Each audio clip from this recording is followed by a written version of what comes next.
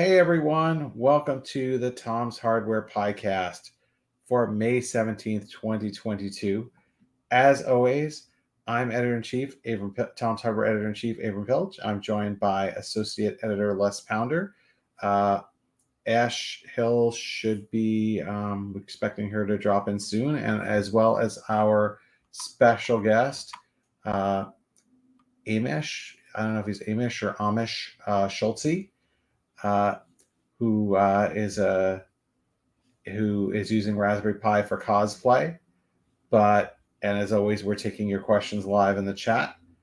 Uh, but uh, meanwhile, uh, meanwhile, Les, what have you uh, what have you been up to this week? Oh, plenty, lots of different things this week. But I want to show you something really cool. So this is you know it's the PiCast, isn't it? We all know it's the PiCast. I'm coming for Raspberry Pi stuff, but you know, raspberries are not the only fruit. There are lots more things out there that are interesting that you can mess around with. And I got one the other day in the post. So I'm going to go the overhead camera so you can see what it is. It's this. It's the Khadas Vim 4. Now, I think it's Khadas, I'm not too sure on the pronunciation. This is an SBC and it's pretty much the same size as a Raspberry Pi. Apologies, there's no banana for scale in this case. Um, it's the same size roughly as a Raspberry Pi, but it's a little bit different in that it's got a lot more power. It's got an octa-core, so eight CPU cores and eight gig of RAM, and also 32 gig. Oh, there we go. Let's get the right one. 32 gig of eMMC storage. So it's a powerful board.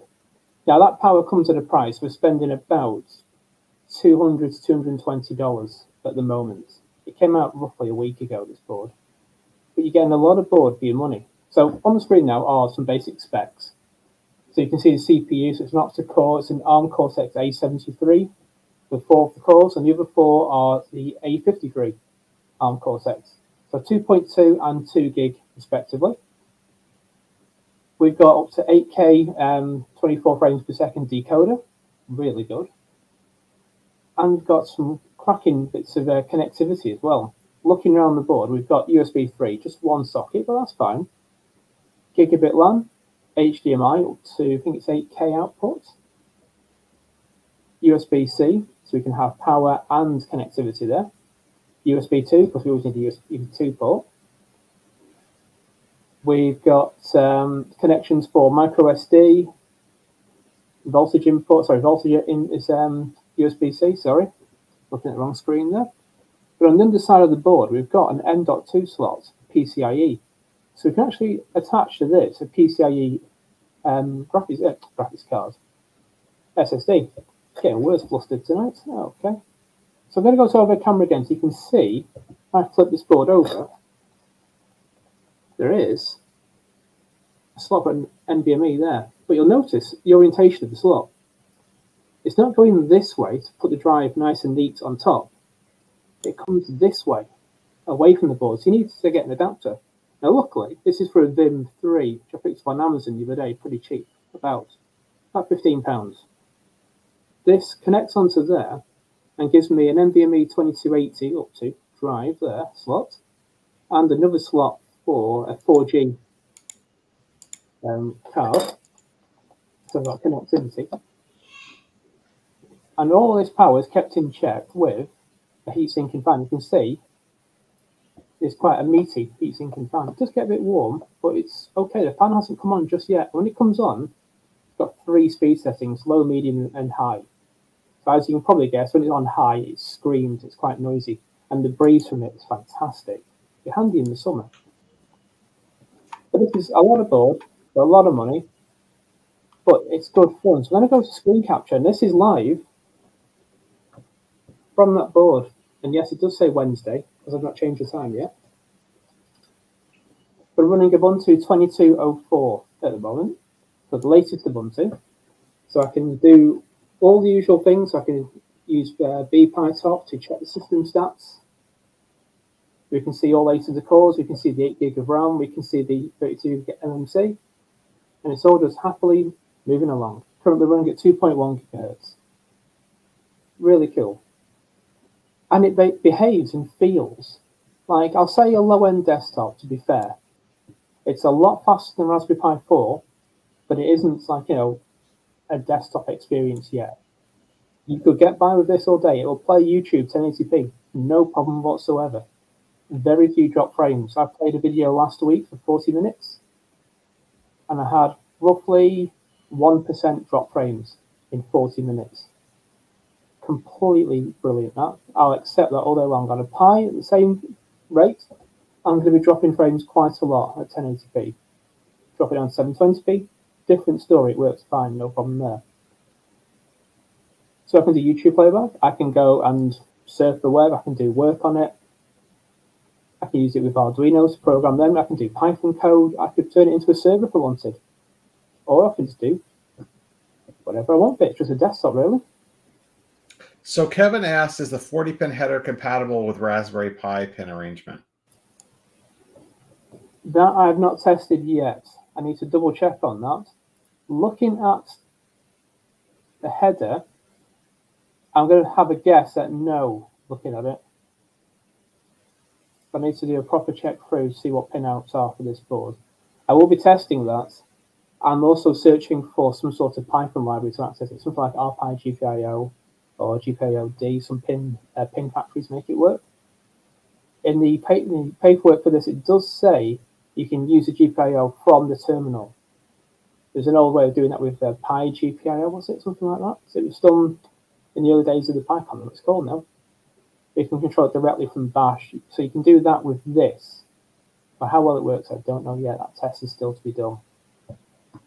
What I'm going to show you now is something quite cool. Now, four months ago, Raspberry Pi announced that you can now install your Raspberry Pi by plugging in a micro SD card and it goes off the internet. There's a an in, internet installation for you.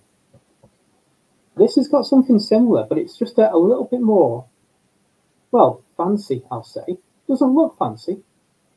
It certainly is a lot fancier. So I'm just going to close this down. And I'm going to press the reset button on the board, so you can see color bars. And I'm pressing the function button now. So releasing the reset button and holding function. This is going to load up, as if finally heard it, this is going to load up a specialist menu I've built into board, almost like a BIOS in a way. Let's give it a second to load.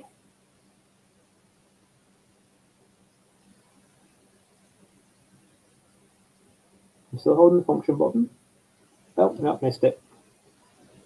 It is slightly tricky to get onto this.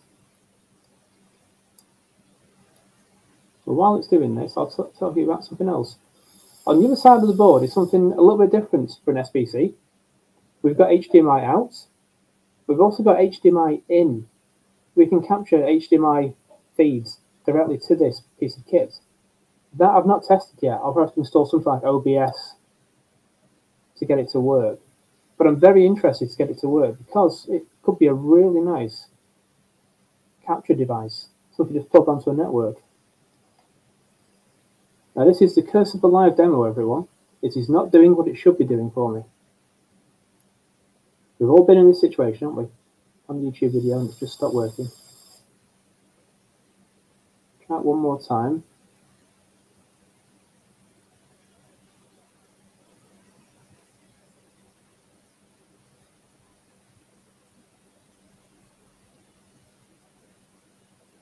No, that's not working again. That's unfortunate.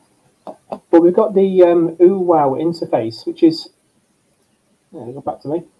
Um, the OOWOW interface, it's like um, basically like a BIOS, but in there I can update a list of available um, OSs. And at the moment it's Ubuntu 2204 with um, the GNOME desktop.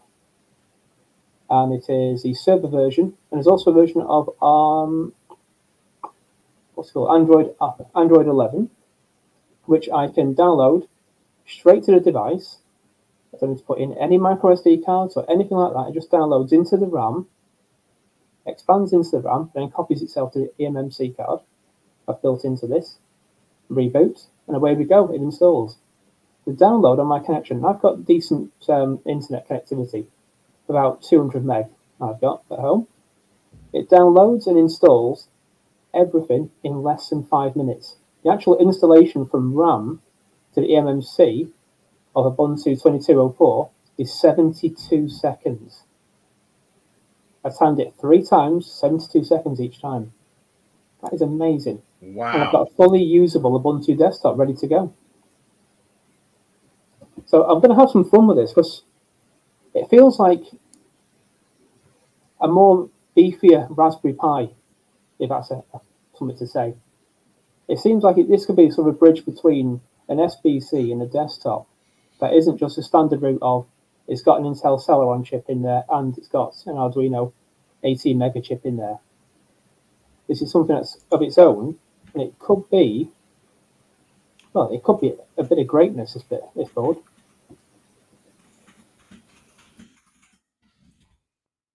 Hmm.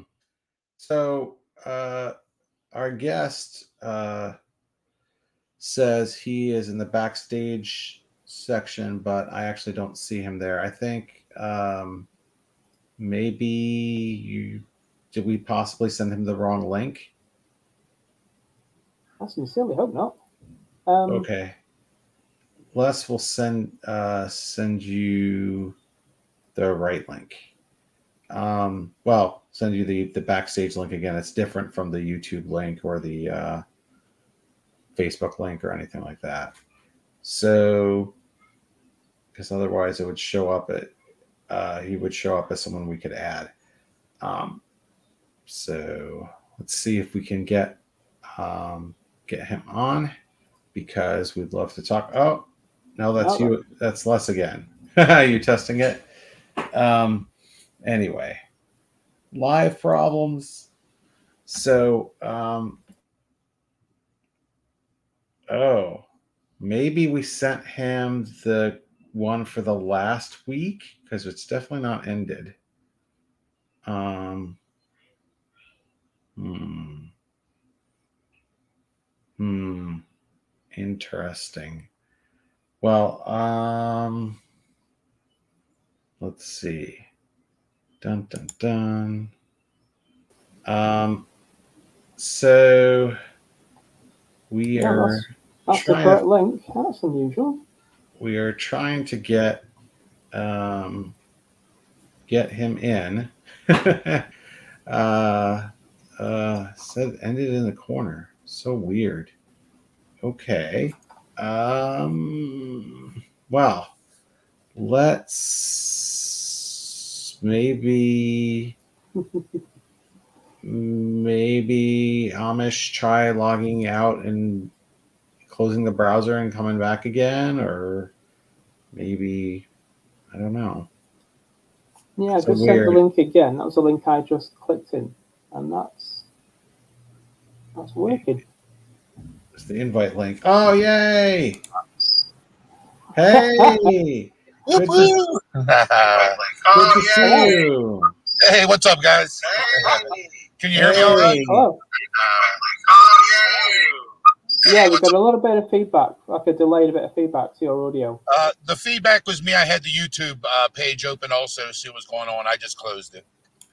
Fantastic. No Well, thank you so much for joining us for uh live live from your car. So uh so you do some amazing cosplay work. Can you tell everyone about yourself? Uh, wow, yeah, this is a, a great picture of the uh a great picture of your Galactus hat, of your Galactus mask.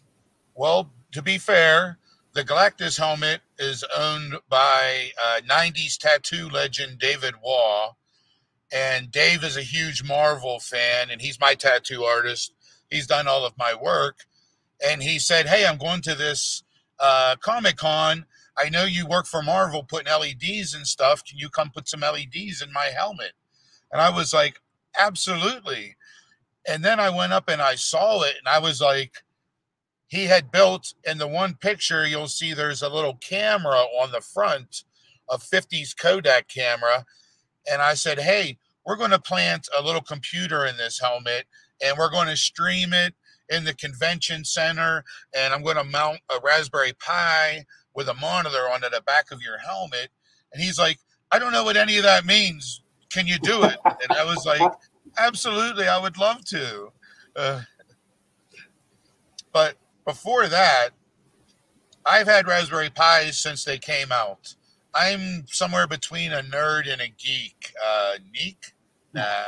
But uh, So I've always been around it. I've had, you know, I've been around since Timex Sinclair's, TI 99 4As, Commodore 64s. I learned electronics from the Forrest Mims books, you know, getting started in electronics. So this is always something I've been interested in. And the Raspberry Pi, I, I love the idea. I love the initial concept. Let's get computing power to people that can't afford big computers. Let's make it easy and then to see what all of us tinkerers and makers have done with it is the amazing part. They're making synthesizers with it. They're using it. Um, we use the Raspberry Pi on Spider-Man for lighting control. You know, there was one spot where we just couldn't get our usual equipment to it. Yeah. And, you know, we got the mounted up and using the DMX 512 uh, hat for it. And then, you know, we could send DMX commands to it and stuff. So it's been pretty cool. I'm glad to see where it's going. That and all the other similar development boards, but I've only used the Pi so far. That's great. So you, so your day job is doing uh, is doing oh. special effects for movies or doing props. I am. I, for 25 years, I've been making movies, and my uh, I am a fixtures technician and a fixture is in the movie. If you're watching any movie, any mm-hmm. light that you see in the movie, sconces, headlights, chandeliers, um, Star Trek, all those panels and stuff like that. The yeah. fixtures electricians are the ones that wire those. They put in the LEDs. They make sure that no lights flicker. pardon. And uh, and then we come up and we solve problems within that of lighting that's on camera is what I personally do. That's great. So, so in your work, you end up using Raspberry Pi a lot. Not, not so much yet. I, I keep mm-hmm. looking for places to use it. Uh, previously, I'm sorry, I got to take a drink. Uh, pardon me. Previously, the first time I used it, I was working on a low budget movie that they had a scene that was in a police bullpen, you know, around a bunch mm-hmm. of offices. The sergeant gives his remarks, everybody cheers and goes and catches criminals. But on all the desks, they had computers and they wanted them to, uh, you know, come on and be working computers. So I took eight Raspberry Pis. I ghosted the same image to all of them. We did a, a police wallpaper. I did some icons that look like, uh, you know, just different things that you could police would look up and then I had one icon that would open up to a green screen, and they could go ahead on that green screen and put video and stuff like that. I ran a server, a Raspberry Pi server, so I could feed the videos on there as they was looking at them and stuff like that. So that was the first time I used it actually on camera and in a practical use as computers. Uh, the next time I used them, I was actually working in the paint shop on a movie uh, or on a TV show, TV show called Netflix Mindhunter. And in the paint shop, you have a lot of equipment and people that go everywhere. There's like 40 or 50 painters and, you know, tons of all this equipment. So I was a uh, utility foreman. So it was my job to keep track of the painters and all the equipment. So I took a Raspberry Pi and I built it into a paint bucket and we had it when you came in in the morning. You would go ahead and touch your name, and that's how I knew you were there. I had a little login set up, and then whenever we sent equipment, I I uh, built an RFID uh, chip reader into it, and I put little RFID tags on everything, and I would create a database. When something went out the door, you swipe it against the paint can, it registers. You tell me there was a button so you could tell me what location you were going to. And then anytime from my phone, I could pull it up. I could tell you who's here working, who's where working, and where, you know, that pink air compressor was, you know. Nice. And another time, I try to use it as much as possible because I really think it's an invaluable and cheap tool. Um, another time I used it, I was a fixtures foreman and I set it up in kiosk mode on a big TV, and I ran DAC board off of it attached to our wow. Google Calendar. And then when you came in, you could see what we were shooting this week, what stage we were shooting it on. And then I have uh, two to do lists, a to do list and a needed list. and I had it set up so the guys could go on their phone and they could update. Oh, to do, I did this, or if they had to make a note, oh, light 252 in stage three, we need to get on that, you know, immediately. So I set it up easy. Not everybody's techie like us. Some people just want to come to work and you know screw light bulbs together and stuff. You know, so I wanted to make it so everybody would participate. And the Raspberry Pi is, you know, there's so many things you can do with it that it's simple enough for everybody to be able to use. You know, so That's cool. Have you? Is eh, so? I think it's cool, so cool you worked on Mindhunter because I I loved that show. it was so sad when when it was canceled. yeah, for the, uh, sure, a lot of great people in there. Of course, Raspberry Pi you could never see it on the air because that show takes place in like the 70s and early 80s, or at least so far it did. So it'd have to do quite a time jump to to see it to, to see it on air. Do you ever have to create, uh, whether you're using Raspberry Pi or not, sort of fake electronics panels or like control centers for like sci-fi type of stuff? all the time. What do you use for that? Well, I mean, d- depending on what it is and what the I work I work more with the production designer on these things than the chief lighting technician, the gaffer. Um because all my stuff is on camera. And for those things, it's just matching what the designer has in their mind and giving them as much as I can. Like if they came to me with like a, you know, like I mentioned Star Trek, a Star Trek console, the chair, the captain's chair, you mm-hmm. know. So I would work with them to see what kind of lighting. Do they want the lighting to be seen through the material that the chair is made of? You know, if it's diffusion or if they want the light to be bright and on screen, do they want LEDs? Do they want incandescents? You know, because it's not just LEDs that we work with, it's anything that lights up and can be seen on camera.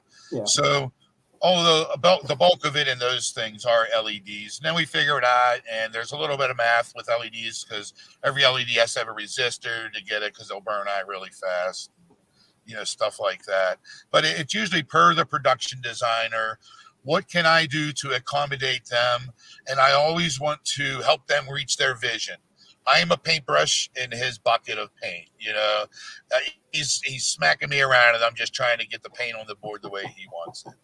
Uh, So, do you have to use any type of controller board to control those lights? If like if you were creating a captain's chair or something that has to yes, light up, how do you how do you make the controller for that? right. So, in that instance, um, what we will do is there's definitely uh, industry specific uh, encoders we call them um, for LEDs. The biggest company is Lightyear, and we use a lot of their almost 100% their equipment and their. LEDs and stuff because they have the systems.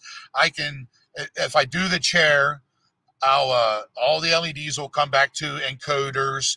The encoders are multi-channel, as little as two channels up to 24 channels. So I could do 24 individual LEDs if I wanted.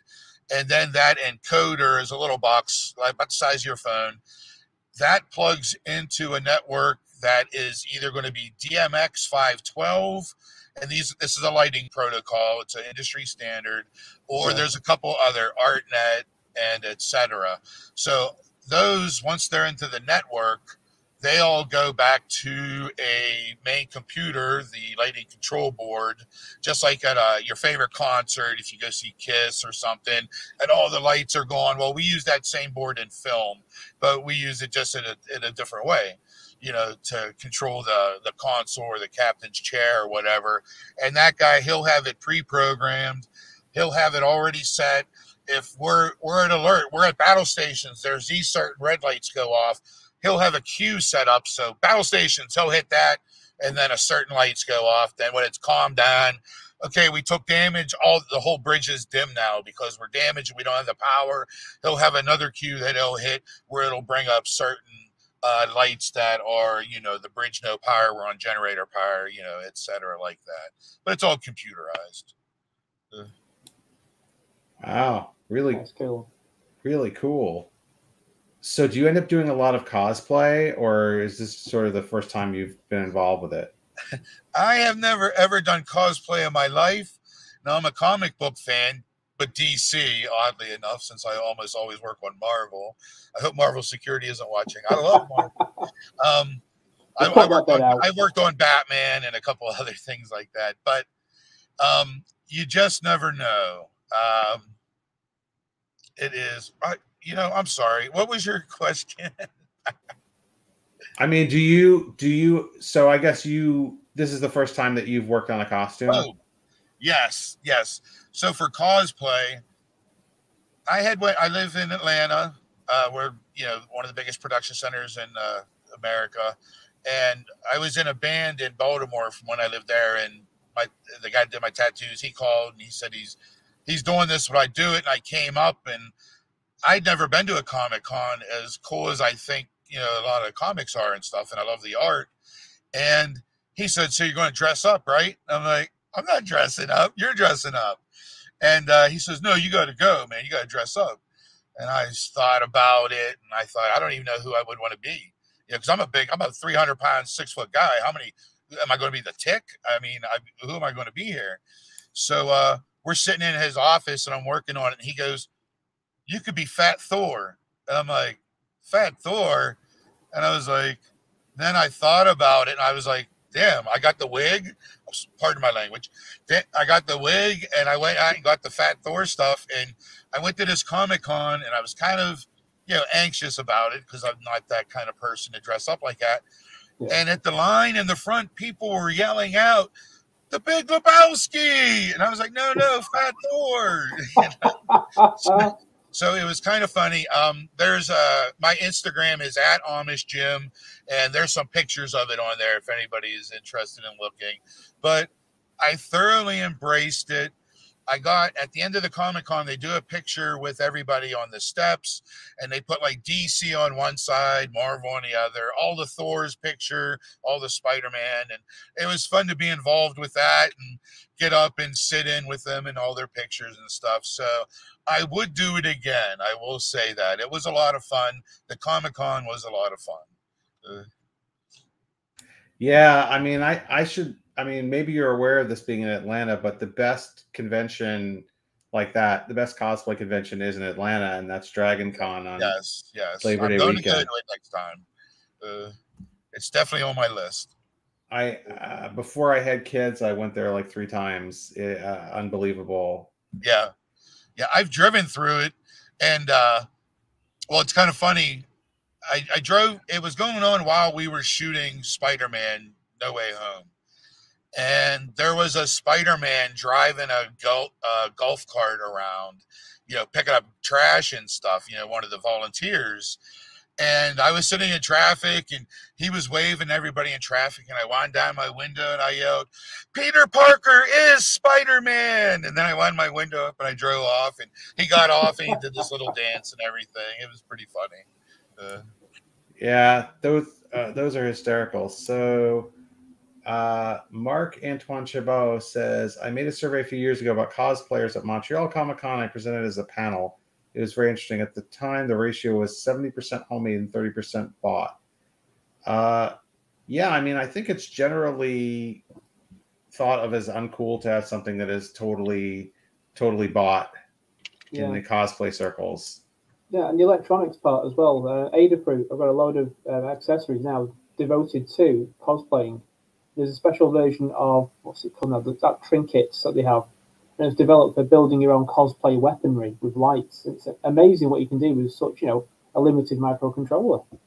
Yeah, I actually went on Adafruit's site and I uh, I bought a bunch of LEDs and pixels and stuff like that from them uh, from her rather and uh, i didn't really i didn't have enough time to really do it i wanted to put some pixel stuff that rotated and that mm-hmm. i could mm-hmm. control from my phone as he was doing stuff so that you know i wanted to be able to have a little bit of lighting control but i just didn't have enough time that'll all be on version two for next year oh awesome so what yeah. did you use for power like what did, what did you do for battery so i used two power supplies um, for the Raspberry Pi, I just use a USB battery bank, and it's routed through his costume and in his pocket. And then for all the LEDs, I use a 12 volt RC car uh, battery pack, and I ran that the same way. So there was two different power supplies. That way, I didn't have to worry about you know building a step down or you know anything else like that. Just Yeah. yeah. Yeah, I mean it. It can be. Uh, I don't know about you, but I find it can be tough to find a really good USB battery that is not too big, but also has enough. It also can give you at least three amps. Yeah. No, this one worked good. I went with Anker. They're a pretty good brand. Yeah. Uh, I've got a bunch of them.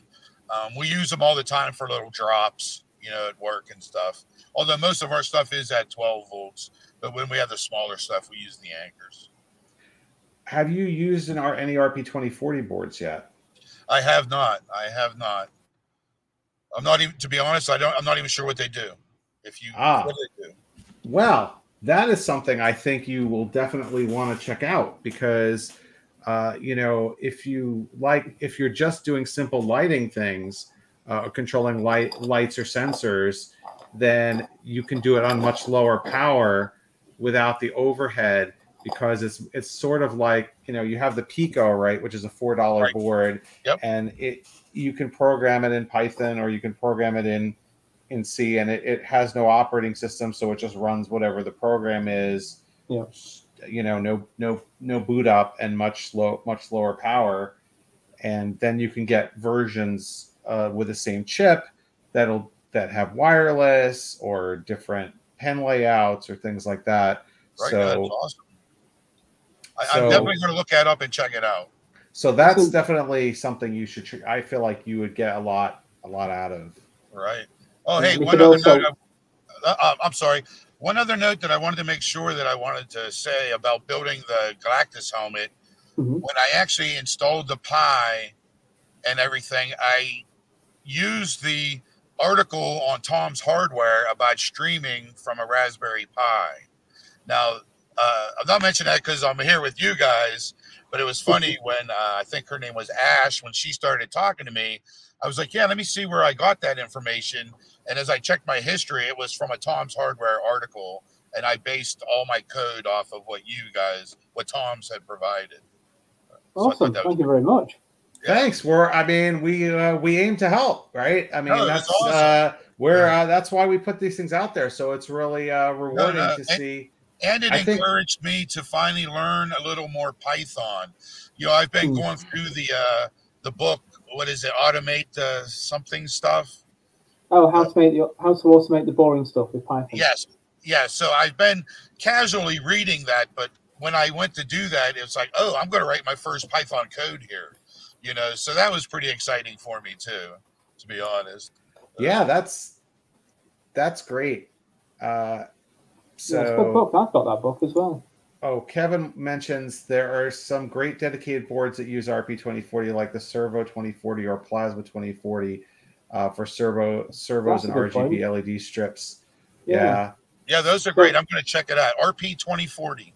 Yeah, I mean that's that's the that's the chip, that's the CPU that Raspberry Pi makes for them, and then there's like anyone can make a board out of them. So there was a bunch of Adafruit ones, Right, Pimoroni right. ones, Yeah. and then the first party one is the Pico. But uh, what what one thing that is real cool with it for it too is if you have an LED matrix, uh, you can then get a board where you can do you know either was a 64 by 32 or 64 by Yeah. 64 or even I think 75. or even up to four of them together. I think so. Right. You- So if you had to do like some type of an LED display, it's uh, probably it's. I mean, I know how to do those with Pi with a regular Pi, but I think there's less overhead. Plus, another little tidbit right now, of course, for everyone watching, is it's a lot easier to get your hands on an RP2040 board than to get your hands on a on a full fledged Raspberry Pi because those are uh, right. those those are um, a little bit hard to come by. Um, yeah. Yeah, I just looked to get. I gifted uh, a couple people some, and I've gifted. I've probably given six to ten Raspberry Pis away to people, or suggested them to people. And a friend of mine is a lighting guy too. He's a fixtures foreman also, and I. He's like, you keep talking about this Raspberry Pi, and I said, I'm just going to buy you one. So I got him one, and his best boy one, who's middle management. And uh, I don't know if they've ever used them. I hope they did. I got the CanaKits that had everything. You know, Oh, that's nice. That's a each. That's a nice gift. I was too cheap for that. When uh, the first the first year I was editor, I, I'll, I'll leave folks with this. The first year I was at it, but this is an idea for folks looking for their thinking about their holiday gifts now in April uh, or or birthday gifts. When I was in uh, the first year, I was editor in chief of Tom's Hardware. I wanted people to. I don't know if it's the first year, or the second year. I wanted people to everyone on the staff to have who didn't have one to have a Pi. So I bought Raspberry Pi Zero Ws for for folks, and then I just put a I installed the Raspberry Pi OS on it, and I put like a little video message to each person on the desktop. But then I gave it to them, and I said, "You have to boot this up in order to see what my message to you was." So you know, but I didn't give them all the, the you know I didn't I didn't give them a whole CanaKit or anything. It's just the Yeah. Pi Pi Zero W. I knew if I didn't give him everything to do it, he would never do it. So, but I guess he didn't do it anyway. Yeah, yeah. Uh, I almost thought about asking for it back if he wasn't going to use it because I'll give it to somebody else that'll use it. So Yeah. that that is uh, that is that is sad. I think you got to give incentive. Maybe put something interesting on the desktop Yeah, no, you're right. for them, and then they can't. You know, hey, listen, there might be something interesting there, you but you got to turn it on. Yeah, Speaking of interesting stuff, I just want to say thank you so much for joining us. We really appreciate it. These are amazing stories you have, and it's just I'm so glad that you got some uh, some value from. Uh, I think this was Les's article. So uh, so thank you so much for joining us. It's such an honor and a privilege to have you on. Uh, absolutely. so, uh, as always, we are here at 2:30 p.m. Eastern, 7:30 p.m. UK time on Tuesdays, and we hope to see everybody next week. Thank you all so much, and we will talk to you soon. Bye, everyone. Thank you.